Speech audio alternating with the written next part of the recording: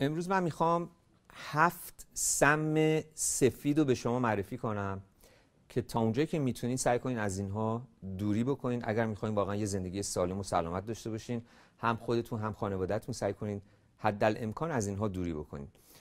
اولیش که مطمئنم حدس می‌زنین شکر سفیده که شکر سفید معمولا خب از یک چیز طبیعی گرفته شده مثل مثلا چغندر قند و یا نیشکر و غیره. ولی وقتی که می‌گیرن اینو تمام موادش رو می‌کشن بیرون و بعد bleach ش می‌کنن و بعدا process process می‌کنن. تبدیل میشه به یک ماده سفید بیخاصیت مضر یعنی خاصیت که نداره هیچی مضر هم هست.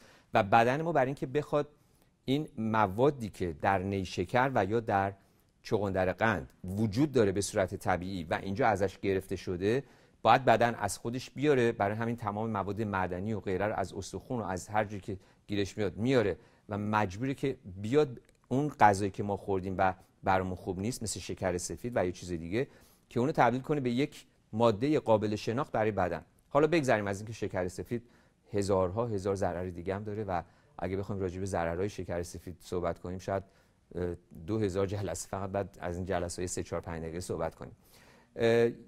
به اضافه شکر سفید جانشینان شکر سفید یعنی شکرهای مصنوعی که من همیشه گفتم شکر سفید سم شکرهای مصنوعی بمب شیمیاییه یعنی اینقدر ضررشون بیشتره به خاطر اینکه بدن دیگه اصلا نمی‌تونه اونا رو تبدیل به یک ماده غذایی قابل شناخت بکنه و خطرهای خیلی زیادی می‌تونن داشته باشن و اگر خواستین و استقبال شد در برنامه های آینده یه مقدار خیلی به صورت جزئی راجع به شکرهای مختلف صحبت می‌کنیم شکرهای مصنوعی و ضررهایی که دارن. خیلی از عزیزان فکر می‌کنن که اگر به جای شکر دایت شوگر بخورن چیزای دایتی بخورن بهتره در صورتی که بسیار بسیار ضررش بیشتره خطرش بیشتره و هیچ منفعتی هم برای شما نداره و به هیچ وجه شما رو لاغر که نمی‌کنه هیچی چاقتون هم می‌کنه.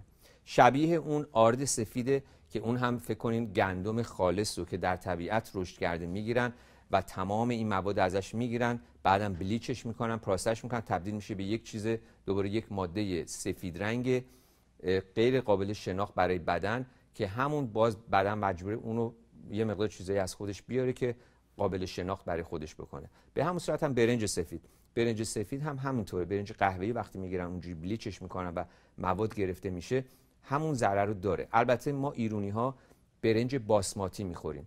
برنج باسماتی با برنج سفید یه مقداری فرق می‌کنه. البته برنج باسماتی هم بعضی موقع می‌گیرن یه مقداری سیغلش میدن که رنگش روشنتر بشه ولی معمولا برنج باسماتی اونقدر ضرر نداره یا ضرری نداره به اون صورت ولی برنجای سفیدی که مثلا فرض کنید توی رستوران های چاینیز فود و یا سوشی و غیره می‌بینین اونها خب زیاد جالب نیست و مثل همون شکر سفید و آرد سفید و غیره هستش.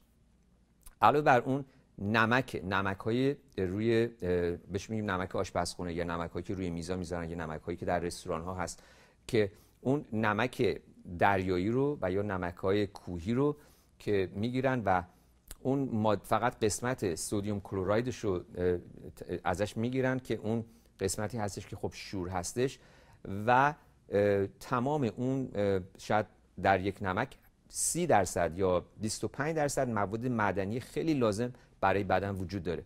ولی وقتی که نمک های طبیعی رو می‌گیرن و تبدیل به اون نمک می‌کنن میشه سودیوم کلراید خالص به اضافه تازه دو سه تا ماده شیمیایی که به هیچ وجه برای بدن خوب نیست و بسیار مضره. برعکس اون نمک دریایی و نمک های هیمالیان بسیار لازم بسیار سلامت و بسیار مهم برای بدن ما هست. نه اینکه بگین روزی 10 تا قاشق نمک بخورین ولی نمک بسیار مهمه. علاوه بر اون یه چیز دیگه که خیلی رنگش سفیده و خیلی هم مضره لبنیات هست که بارها راجع به لبنیات صحبت کردیم و به خصوص لبنیاتی که می‌گیرن پاستوریزه می‌کنن و آنتیبیوتیک بهش می‌زنن و به این گاوا غذاهای مختلف میدن که اصلا تب باب تب اونا نیست و خیلی چیزای دیگه. اینا به هر حال یک سری از سمومی هستن که سعی کنین تا اونجایی که می‌تونین ازش دوری کنین و هر و هر وقت دیدین که سفیده بهش شک کنین که ببینین چرا سفیده و چرا قدر رنگش سفید سفید هستش.